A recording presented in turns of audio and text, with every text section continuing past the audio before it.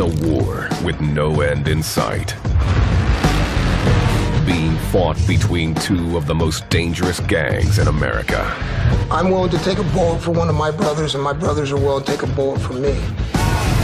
At stake, control of Northern California, pride and domination. Firearms, edged weapons, blunt objects, anything that they can utilize to fight with, they will. Their total focus is on hatred for the enemy. They have a policy of shoot or kill on sight if they can. The Hells Angels and the Mongols are locked in a battle to the death. It's last man standing.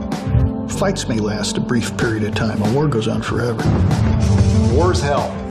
No, man, you know, that's the bottom line.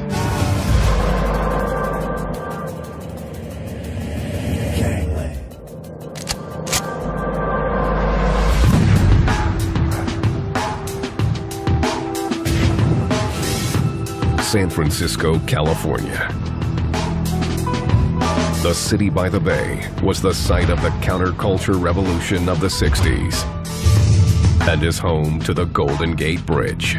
San Francisco is known for its kind of rough and tumble Barbary Coast past. Um, and there's still a lot of that wildness, but it's also a big tourist city. Today, this ever changing city has become something else.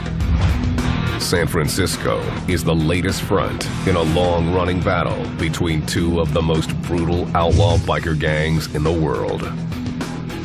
The willingness of each gang, the Hells Angels and the Mongols, to use violence for control is one of the things that characterizes those gangs as criminal street gangs. There's only one goal in this war kill each other. However often they can get the chance. Doesn't matter where it is. Doesn't matter if it's at Disneyland in the middle of summer with school out and 50 or 60 busloads of kids there. When they happen to run into each other at a roadside rest area or a restaurant or a bar, it's like mixing oil and water. The fights are erupting not just in San Francisco, but across California. The Hells Angels control the northern part of the state, the Mongols the southern region. But neither is satisfied with the imposed limits. Traditionally, San Francisco has been Hell's Angel country. I mean, this is their turf. And once the Mongols come up from down south and they come in here, it, it's, it's a slap in the face to the Hell's Angels. The result is a mounting list of casualties. Jorge Gil Blanco is a gang expert with Western States Information Network. He specializes in outlaw motorcycle clubs. The Mongols and the Hells Angels hate each other so much at this point that their total focus is on doing damage to each other wherever and whenever they can. The collateral damage is, is, is of no consequence to them. The Hells Angels are the biggest biker gang on earth. With 2,500 members and 230 chapters across the United States alone. They demand respect wherever they go. I don't call it respect, I call it fear and intimidation. Everybody is, unless they're another member, they're fair game, they're just prey. Anthony Tate, who worked undercover for the FBI, is one of the few men to infiltrate the Hells Angels and live to tell the tale. He even fooled the Angels' legendary leader, Sonny Barger. Sonny Barger described me, you are the perfect Hells Angel. You're squared away, you, you're clean, you take care of business. You know, I was wearing a wire at the same time he was telling me this, so it was kind of funny. His five years posing as a member showed Tate just what the Hells Angels are all about. Stolen vehicles, stolen firearms, narcotics distribution, narcotics manufacturing, extortions of every kind you can imagine. If you can name a crime, they've got their fingerprint on it somewhere.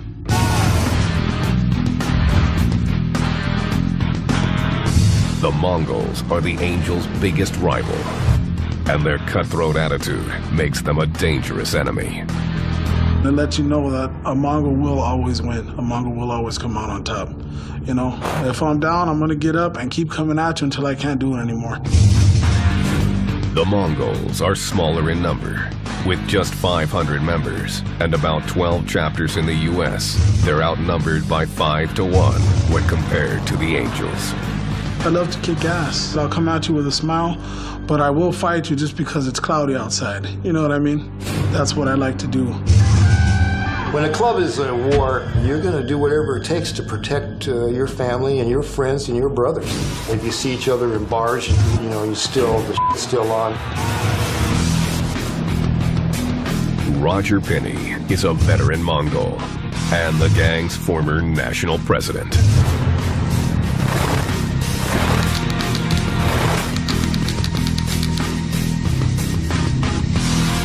Be honest, I mean, it is an ego boost. I mean, you know, because usually anywhere you go now, I mean, they know who you are.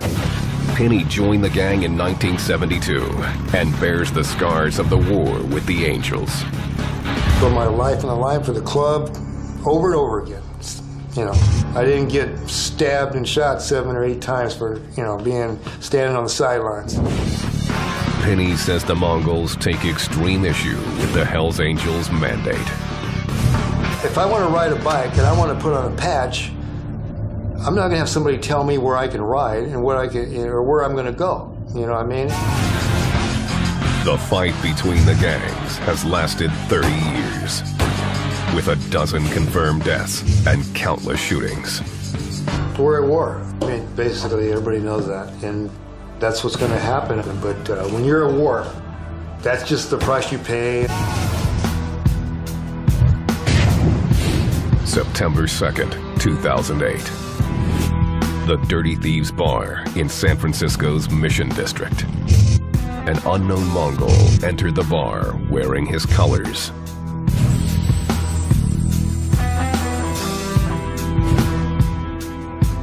With the local Hells Angels clubhouse less than a mile away, he seemed to be looking for trouble. I don't know if he was in that bar that night to kind of test the waters of expanding the Mongols' territory in San Francisco, or if he uh, was just there for a drink. 10:30 p.m. A group of Hell's Angels arrived to take care of business. Taking care of business, it could be anything from killing somebody and burying them, or, you know, killing somebody and dumping their body. Papa Guardado, the Angels San Francisco chapter president, was among them. Papa had a reputation for brutality, and he wasn't about to put up with an enemy in the heart of Hell's Angels territory. There was some sort of conflict between him and Mark Guardado, and they went out into the street. They had a little bit of a wrestling match. The Mongol stabbed Guardado four times, then pulled out a gun. Witnesses said that uh, they saw the fight, they saw them kind of grapple. Suddenly, shots rang out. Mark Guardado was hit in the head and chest. He fell face down in the street. Witnesses were stunned as the Mongol fled the scene of the crime on his motorcycle. The fact that he rode off on a motorcycle definitely raised some suspicions uh, that there might be a biker war brewing. The Angels Code demanded that they seek revenge. Everyone on both sides and the city itself knew what was coming. They're going to do whatever they want. It doesn't matter what society says or the law says. They got their rules, nothing else matters. But once that first punch, or that first kick, or that first bullet goes flying, it's too late for talking. San Francisco. Residents call it simply the city. Tourists who flock here to see the Golden Gate Bridge, cable cars, and Chinatown call it Frisco. It's also the front line of a brutal gang war between the Hells Angels and the Mongols Motorcycle Club. They hate each other, they won't do business with each other, they'll kill each other when they can. The two gangs are sworn enemies, but each started peacefully right here in California. They originally started, most of the clubs started as just to ride, to have the freedom of riding. The Hells Angels were founded in 1948 in San Bernardino, 400 miles south of San Francisco. The San Francisco chapter was formed six years later in 1954. Over the next two decades, the Hells Angels would build themselves into the most powerful motorcycle gang in the world. The Hells Angels view the world as kind of a them versus us proposition. You and I uh, are citizens. We're not members of the Hells Angels. As such, we're some kind of lesser life form. In the 1960s, the Hells Angels set up chapters across the United States and had no trouble finding recruits. There is a big attraction there. There's the drug attraction, there's the violence, there's the women, and it's pretty much the attitude that we can do whatever we want, whenever we want, and get away with it. And nobody can stop us. The Angels were a force, making money by dealing drugs and defending their turf by any means necessary. But they would soon be challenged. In the 1970s, the Mongols Motorcycle Club roared to life in Montebello, California, taking its name from Genghis Khan's ancient warriors. It was a tight-knit group of ex-veterans and uh, friends. They got together and they designed a patch, and, uh, and they went from there. Roger Pinney joined the gang after a tour of duty in Vietnam. When I came back from Vietnam, I had this this thing that I couldn't cure. It was like a, a rush for excitement because I just went through a war, for God's sakes, and you just live on the edge, so to speak. The open road, outlaw image, and partying drew him in. Riding with the Mongol horde made him stay. You can imagine being in this long, stretching highway with hundreds of bikes and the roar of engines, and everybody's with you. We're all the same group. We're all we're all Mongols.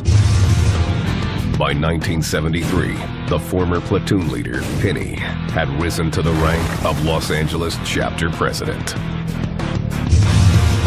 The Mongols began expanding their territory in California and trying to grow their drug business.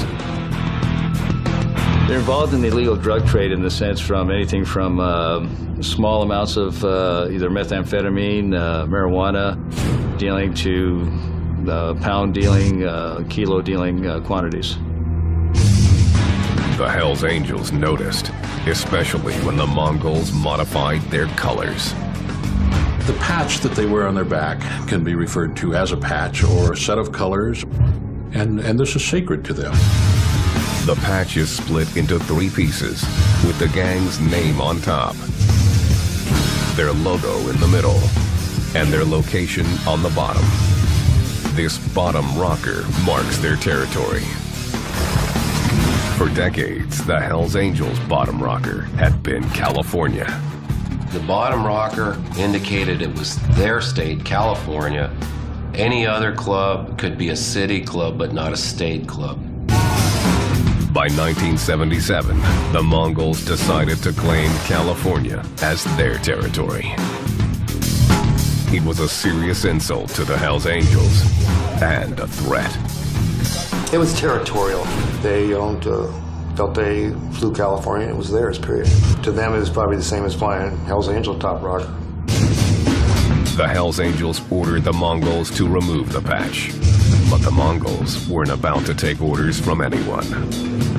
It was which way we were going to go and how the club, are we going to take this and become a family club, you know, and are we going to stand up to the plate, you know? The gang put it to a vote.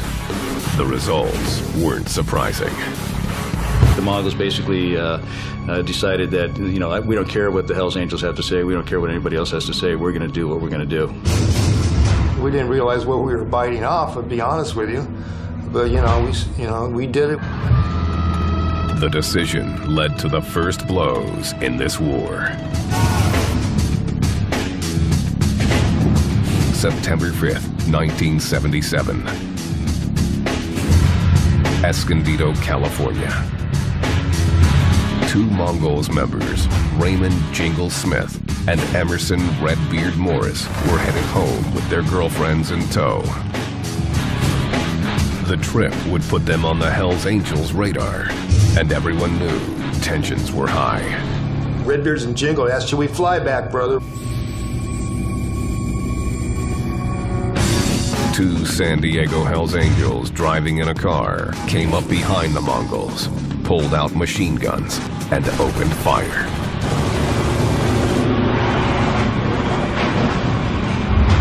The Mongols were blown off their bikes. Both of these Mongols were killed.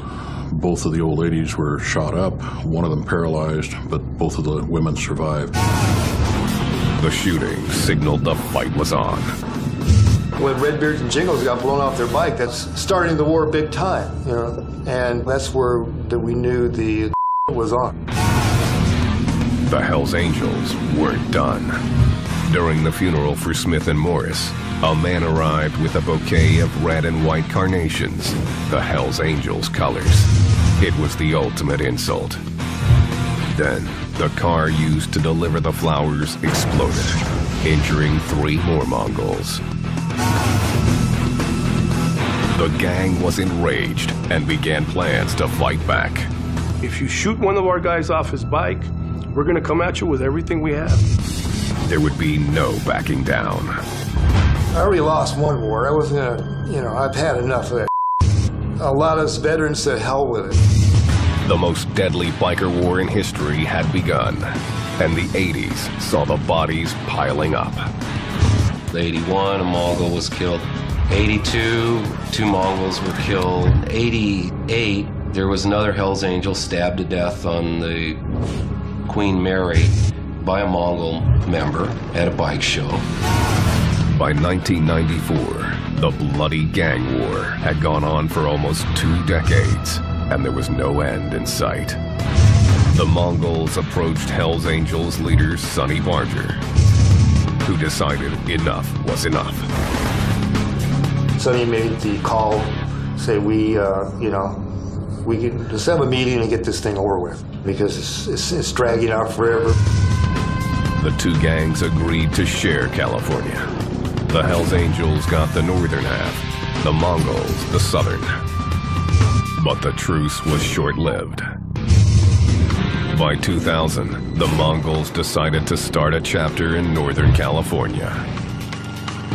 We wanted to start a chapter of the Mongols in uh, San Jose, California. Um, the Hells Angels were claiming the Northern California as all theirs. Uh, according to them, that was their territory. We were to stay out of it. The Angels saw it as an act of aggression. The war was back on, full force.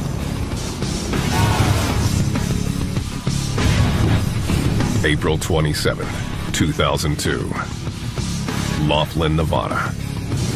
10,000 bikers, including Mongols and Hells Angels, gathered for the annual Laughlin River Run. The Mongols were in Harrah's Casino drinking. 2 a.m. Roger Pinney was at the bar when some Hells Angels started heading their way. After this many years, I just felt something was wrong. They were there to take care of business, either fight, uh, do whatever they had to do to take care of the Mongols. Pinney approached the two angels. We kind of walked off by ourselves, and uh, and um, I said, we need to, there's a problem. What's the problem? Well, we can, you know, we can talk about this, but we need to de- de- defuse this bomb before it explodes. Roger Pinney, you can see him on the video, actually walks up, puts his hand on the shoulder of uh, one of the Hells Angels, and starts talking to, uh, trying to, trying to defuse the situation, trying to calm it down. Suddenly, one Hell's Angel kicked a Mongol in the chest, setting off a vicious fight. It's like domino effect. The first punch, the first shot, the first stab, the whatever. Pinney was trying to help a fellow Mongol when a Hell's Angel came up behind him and pulled a knife. So I grabbed the HA to pull him off my brother, and that's when I was stabbed three times. I felt the knives going in and twisting in my back, or my right, you know, like, and twisting, because he wanted to kill me. And at that point, that's when the bullets started flying. Pinney managed to escape from his attacker. A fellow Mongol helped him out the back door and into a cab.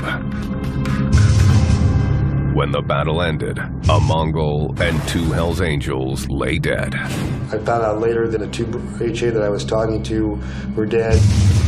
The bloodshed escalated the war. You know, I don't, I don't give any, but I certainly don't take any. You want to disrespect me, and I'm going to do what I need to, to gain my respect. The problem was the tension was building, and it was like a firecracker ready to happen.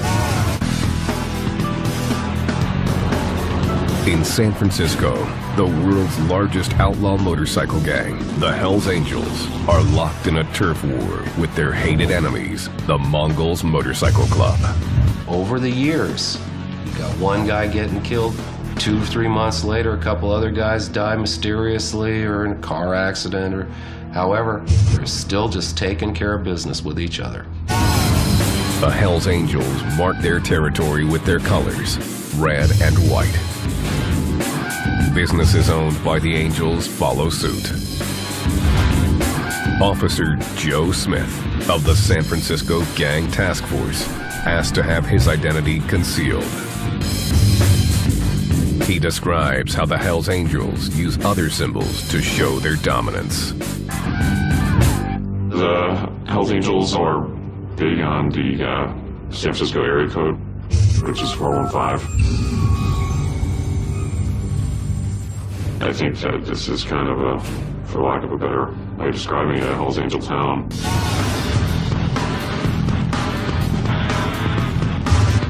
Anthony Tate, who worked undercover for the FBI, spent five years posing as a Hells Angel. I never had to kill anyone. I uh, beat up a number of different people, but that was just part of everyday business. He's experienced the seductive power of the outlaw image.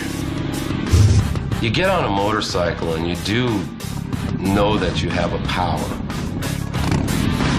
When you rack it up and those pipes rack as you're going by a couple of good looking girls, just turn their head and look. Tate was a valued member of the Hells Angels. Had explosives and uh, demolitions and, and firearms experience from the military, and so they, you know, that's a pretty well-rounded package in their book. Tate eventually became the gang's sergeant of arms, responsible for enforcing their will. Sergeant of arms does exactly that. You tune up the person that needed to be tuned up. That's just the way it is. Uh, and hopefully that person survives through that, that conversation. The Mongols operate the same way. I'm what they call a club enforcer. When there's people out there who don't really agree with what has to be taken care of, I make sure that they agree with it. I don't take no for an answer. The gangs reserve their most violent acts for each other. But collateral damage is acceptable. The war between the two gangs, the Mongols and the Angels, you're there, you're standing a hundred feet away, and a bullet just happens to come along and smack you right in the forehead. You're dead. Doesn't matter if you were standing right in the middle. Society does not matter to them. The Hells Angels show their power in a very public way.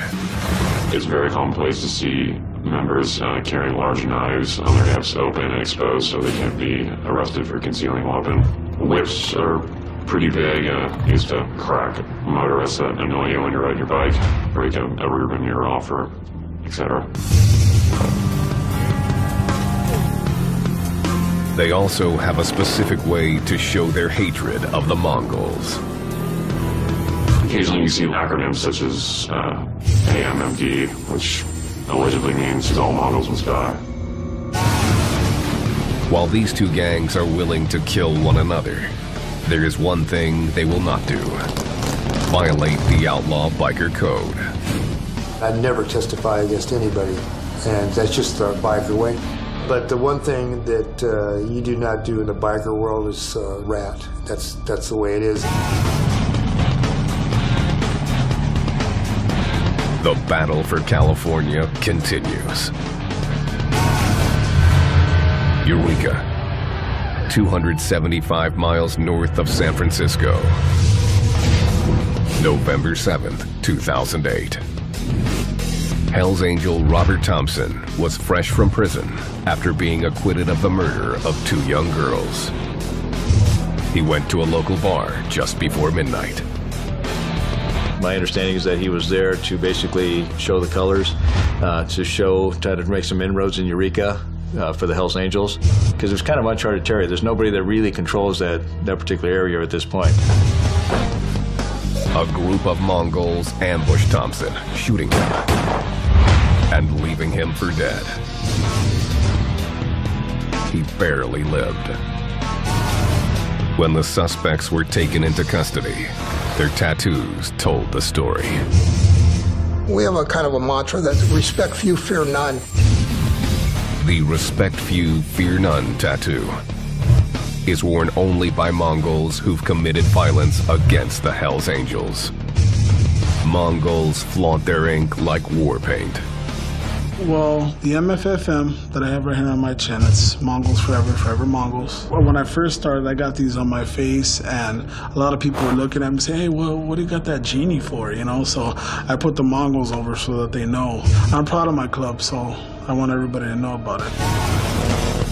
The Mongols reward their toughest members with their highest honor. The Black Heart is uh, is given out to a brother that was wounded in the line of duty, basically, or trying to help somebody, or whatever the case. Roger Pinney has four Black Hearts. He earned one for his involvement in the 2002 riot in Harrah's Casino in Laughlin, Nevada. It's kind of rough to talk about because, you know, I saw a lot of people hurt for no reason, you know. But I stood up, you know, I did my thing. Following the casino battle, the Mongols adopted a new tactic in their war against the Hells Angels. They began recruiting new members from a brutal Hispanic gang known as Sureños. These new members had a vicious reputation. If they're dealing with Sureños and, and they get loyalty from that club, then I guarantee that they're definitely going after somebody. They're definitely going to use them for a violent act. The new recruiting push wasn't supported by all of the Mongols. They were bringing into the club their old ways, their gang member ways, and they were dealing drugs. They've taken a lot of people in without doing a good background. They've taken a lot of these um, wannabes that didn't even have motorcycles into their clubs just so they could get their volume up and their numbers up. The decision made the Mongols stronger. It also made the gang more volatile and dangerous. The Mongols are more of a loose cannon than uh, than the Hells Angels would be. The younger guys are the ones that uh, are probably going to be quicker to react. We were a different club after Laughlin. We were a lot harder. We had to be. So when it came down, we were much more prepared, shall we say.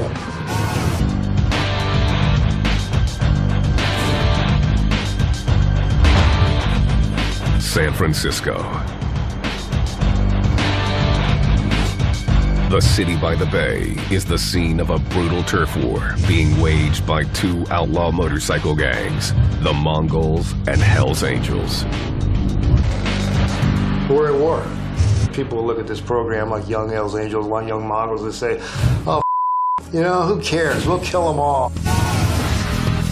The Mongols, who are outnumbered by the Angels five to one, began recruiting from a brutal gang, the Sureños, to help them in their fight. As a Mongol, we always try to be on the defensive. I mean, when you have that many people, you know, things happen. I mean, you know, I mean, you, you can't, it's hard to control every incident. Since then, the Mongols have begun to expand their reach into Angels territory.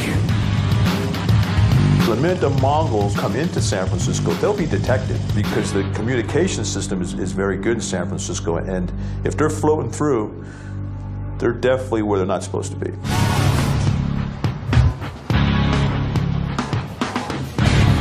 September 2nd, 2008. San Francisco's Mission District. Hells Angels chapter president, Mark Papa Guardado, and a member of the Mongols engaged in a violent fight. There was a conflict between Papa and this uh, supposed Mongol member outside of the bar on the sidewalk, and a struggle ensued in which the suspect uh, produced a handgun and shot Papa. The Mongol fled the scene on his motorcycle after pulling the trigger. Papa collapsed, face down in the street. The paramedics had cut off his shirt, and you could see the big Frisco tattoo um, on his side. Papa was rushed to San Francisco General Hospital, where he was pronounced dead. News of the murder spread instantly throughout the city. This is no ordinary murder. This could be this could be big trouble for the city and for the mission. Everyone was pretty worried that it would mean a big war in San Francisco between the Mongols and the Hells Angels. Papa was a popular, respected angel, and his death left the gang burning for payback. The Hells Angels uh, revered him, revered uh, Mark Guardado. He's not afraid to take on the police or take on uh, anybody, uh, including the, uh, the Mongols or any of their rivals. September 15th. The Hells Angels laid Papa to rest in the San Francisco suburb of Daly City. The rumbles of more than 2,000 bikes could be heard for miles as the Angels rolled into town to pay their respects. When the actual procession started, it was about as loud as anything I've heard on the street before. I mean, the ground really did shake a little bit as the procession went by. It was uh, fitting tribute. All day, people came roaring up on their Harleys, motorcycle clubs from all over the country and even overseas. It was the biggest funeral Daly City had ever seen, and um, everyone kind of wondered is violence going to break out? Vengeance was in the air. That was a club chapter president of an internationally recognized city. This is some Mongol that's in his town, and he gets, he gets killed by him. They've got a safe face, so it's going to get a lot worse. The Hells Angels would retaliate. They had eyes everywhere, and uh, they could they could spot a Mongol and um, make the necessary phone calls to to round up their troops. The San Francisco PD released the identity of the suspect they believed to be responsible for the murder Christopher Ablett. That he was a Mongol was no surprise to the Angels. When they released Chris Ablett's identity, it was kind of a confirmation of everyone's suspicions. Everyone kind of knew it was a rival motorcycle group. When the police went to Ablett's home to execute an arrest warrant, he was nowhere to be found. Police would need to find Ablett before the Angels in order to avoid further bloodshed. There was a sense after that happened that, wow, this guy needs to turn himself in. October 4th, 2008. Ablett surprised everyone by walking into a police station in Bartlesville, Oklahoma, more than 1,700 miles away from San Francisco. He had been a fugitive for a month. He just walked in, um, walked into a police station and said, you know, I think people might be looking for me. And uh, indeed they were. Ablett was turned over to the SFPD and pled not guilty to murder. But the case is ongoing. And the fear of reprisals remains high. The killing of the San Francisco president will add a lot of fuel to the fire. It will exacerbate the situation tenfold. The more exchange of you know killing each other is just going to prolong the uh, the ongoing war. It's last man standing. Uh, a popular misconception is that wars only last a brief period of time. Fights may last a brief period of time. A war goes on forever. San Francisco is in the grips of a brutal gang war between the Hells Angels and the Mongols Motorcycle Club. The killing of local chapter president Mark Papa Guardado has put the city on edge. His alleged murderer, Mongol Christopher Ablett, is behind bars, but tensions remain high. Well, we've now had violence between the Hells Angels the full length and breadth of this state. Uh, Mongols are attacking them in Humboldt County. They're attacking them in San Francisco County. They're attacking them in Southern California. You know, you should hate a Mongol because you're a Hells Angel. You should hate a Hells Angel because you're a Mongol. These people have been carrying that hatred for a long time.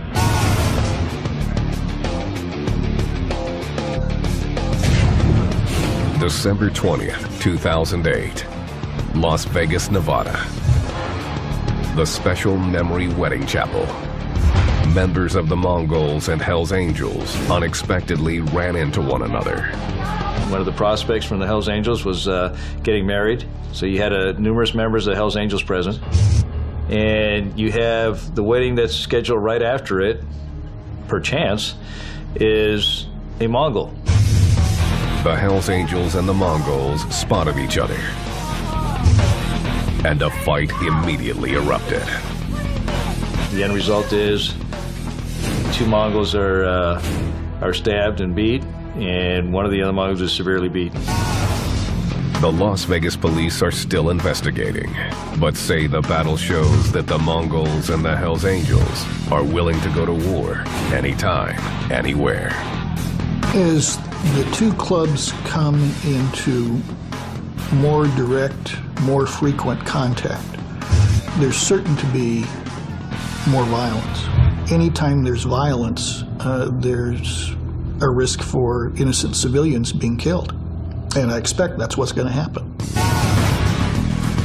Adding to this war is the presence of the ultra-violent Sureños gang members who join the Mongols.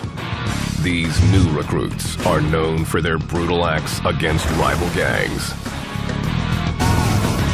The Mongols wanted to uh, recruit the street gangsters to uh, to increase the numbers, uh, knowing that the street gangsters are not afraid to uh, commit acts of violence. The vicious tendencies of the Mongols' new members could escalate the war with the Angels even further.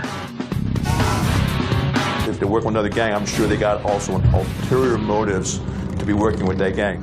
And if they're tied up with the Mongols, I guarantee they will do any violent act necessary to achieve their goals. The potential for serious violence has drawn major attention from law enforcement. So far, the Mongols have felt the heat much more severely. In 2008, the Bureau of Alcohol, Tobacco, and Firearms arrested 61 Mongols and charged them with methamphetamine distribution and assaults on rival gang members. The raid revealed a three year long undercover racketeering investigation. Several other Mongols were arrested uh, here in California and Nevada.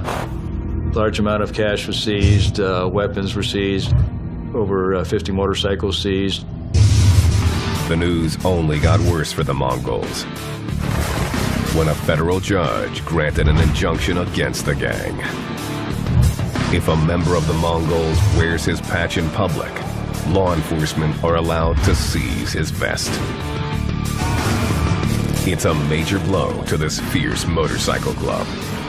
We're going to kill ourselves off. We're going to kill the clubs off. Right now, they've got indictments. The Mongols can't fly their patches. Well, you don't think that's going to stop with us? They, if they get this through, they're going to go against all the clubs, and we're going to wind up destroying everything. That's a big thing because the colors is what they live for. That's their identity. That's who they are. And they're not going to be so intimidating walking around with a Mongol's belt buckle as opposed to a Mongol's patch. The authorities are also targeting the Angels.